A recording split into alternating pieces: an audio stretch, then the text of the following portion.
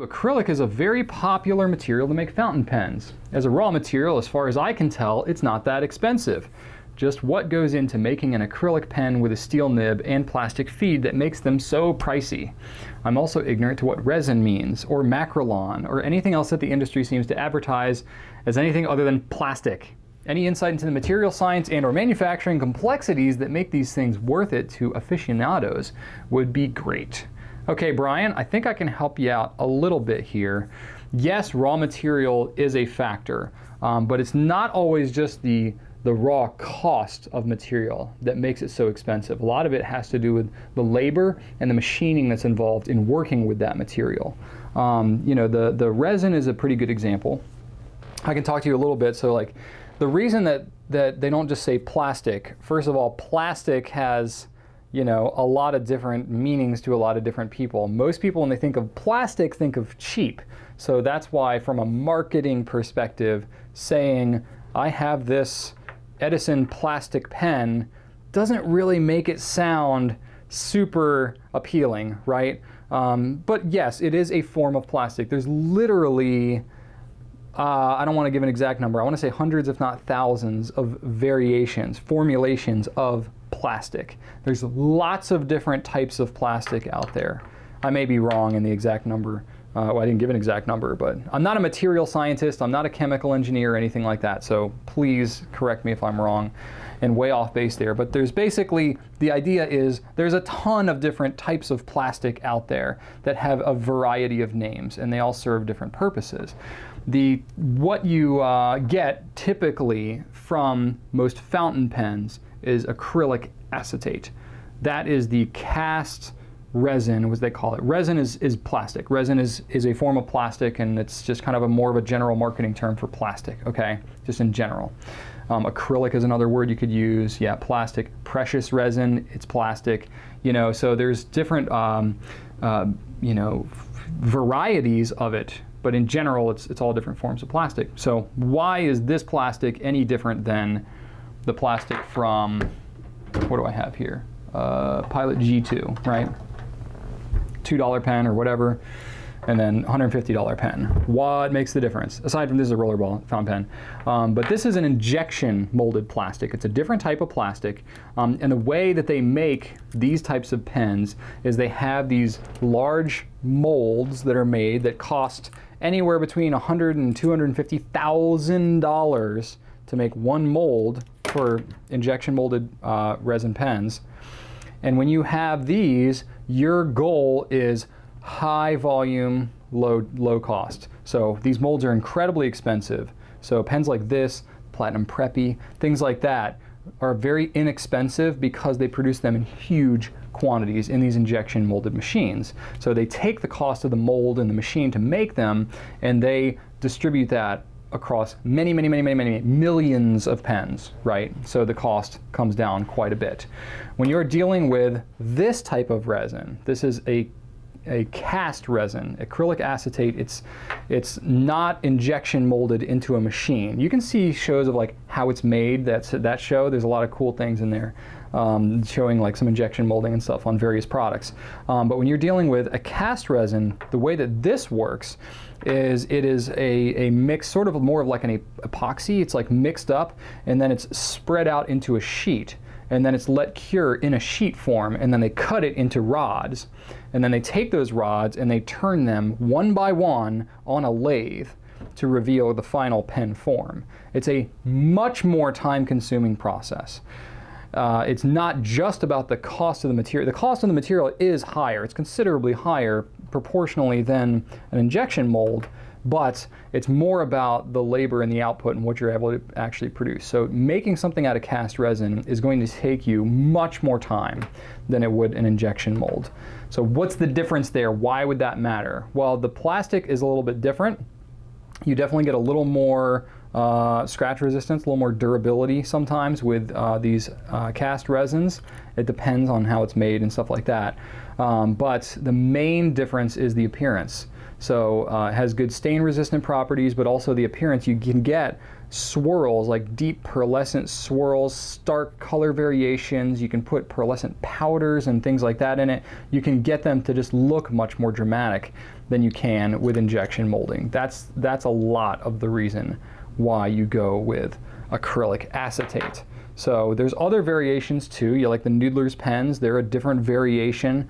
Um, they're actually a variation of a celluloid. It's a cellulose material um, that is is part of how it gets its distinctive smell, um, but it's a little, it's even different than acrylic acetate is. So there's lots of different variations that can affect the, the material cost is simply one aspect.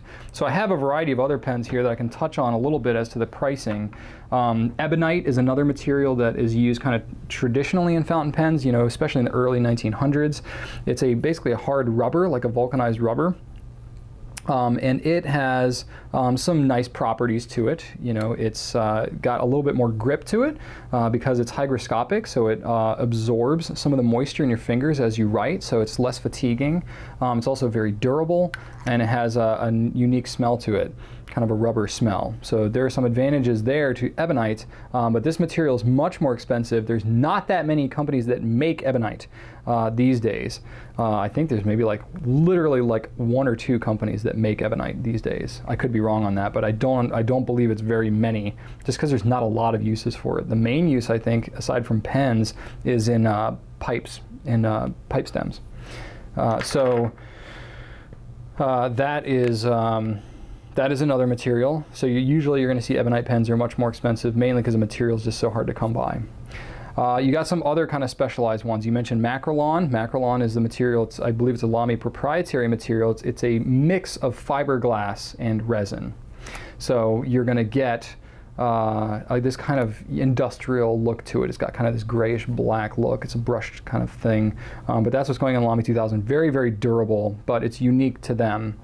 So it's not, you know, it's, it's really the only pen that has it that I'm aware of. So it's hard to say like if it's worth more than the whatever. They make a stainless steel Lamy 2002 that's twice the price. So there you go. Stainless steel itself is not necessarily that much more expensive than this, uh, but it's the machining cost that's much higher. Some other things, you've got like a blend of, um, you know, resin and celluloid. Um, like Visconti has theirs, they call it acryloid. Uh, Omas has it, they call it cotton resin. So it's kind of a hybrid blend between a resin plastic and a more organic celluloid material. Celluloid uh, is something that uh, is an older kind of uh, version of plastic. It was kind of kind of preceded modern plastics. Celluloid is still used in some pens today, but you're going to pay very much of a premium. Uh, the Delta Dolce Vita, the orange, is kind of you know uh, very recognizable for a lot of pen folks. This is the oversized one, which is pretty massive. Uh, but that orange is a celluloid. You can get really interesting patterns in celluloid. It's very deep material. The feel of it, it's subtle, but it's different than just a typical resin. Um, it's a little bit smoother feel, and it's a natural material, so it's um, it's uh, it, it's kind of self-polishing in a way. Like as you rub it with your fingers over time, it kind of like works out its own fine scratches and stuff like that. So it's just kind of an interesting material. But celluloid itself, um, I've talked to you know folks at Delta about what it takes to actually make this material. It takes literally about one and a half to two years for the celluloid to cure. It's very flammable in its uh, in its manufacturing process. Um, and it is actually flammable. If you think about uh, nitrocellulose, the old like um, film, uh, like movie film that they used to do, it's a similar kind of you know cellulose uh, that's used in these pens. So if you take an open flame to your celluloid pen, it will light on fire. So you don't want to do that. It's not like you have to worry about like a spark coming and blowing up your pen or anything like that but um, especially in the manufacturing process, it's very toxic. It's very uh, hard to manufacture, and the cure time is just so long. So it's it's very expensive to manufacture that particular material uh, and prepare it for use in a pen. Uh, a lot of the other uses for celluloid uh, are actually, I believe, in um, like expensive designer like eyeglass frames and things like that. So. Um, some other materials that I have, uh, the there's you know this uh, um, lava rock basically uh, that you have in the Visconti Homo sapiens. Um, it's not just straight up lava rock because lava rock is very very uh, uh, permeable, so water can work through it very easily. So they take and they pound it up and make it into a very fine powder, and then they've tested all different kinds of resins to cast it into. So it's it's you know it's very much the lava rock, but it's um, it's cast into a resin so that it doesn't basically leach ink out of the pen as you're trying to write with it.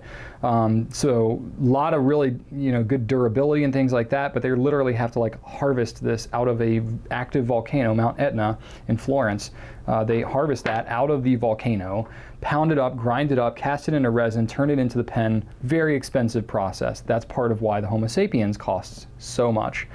Uh, and then the last one, you know, there's, there's various metal pens as well. You know, Lamy AL-star is a good example. You know, so you can get like aluminum and you can get, these can be a little more mass produced, kind of like the injection molded, um, versus there are some, some finer metals, you know, that you get into that can be, you know, like think about like David Oscarson or some of these like designer uh, brands, you know, the, some of the Mont Blanc pens and stuff like that. Even metal, you can get into some kind of very fancy metallurgy, if you will, uh, with pens that can affect the cost quite a bit.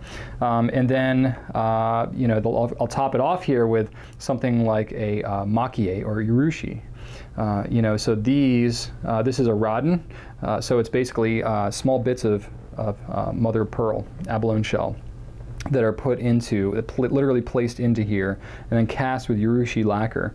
Uh, this, the material cost is, you know, something, but it's the labor. It's the labor uh, and the craftsmanship that goes into it that makes this pen uh, a list price of $2,800. So yes, material cost factors in for sure, but usually it's the labor and what's involved in actually doing the manufacturing process that affects it more than just the material itself. So I think you can, as you're kind of shopping around and looking at the prices of pens, you can see, you know, what you're going to generally pay for these materials. Yes, there tends to be some correlation between how much a raw material might cost and how much you end up costing for the end product, but it's usually more of a correlation of those raw materials that are more expensive are also more expensive to work with, which is why it's going to cost a lot more. So there you go.